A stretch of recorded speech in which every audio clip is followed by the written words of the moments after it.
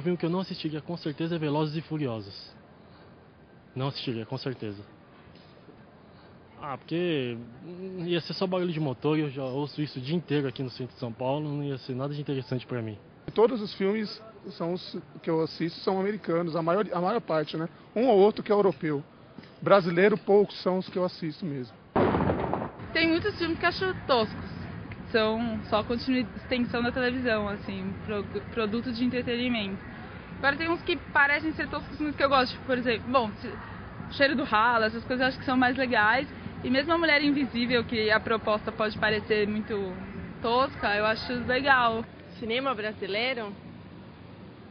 Complicado, viu?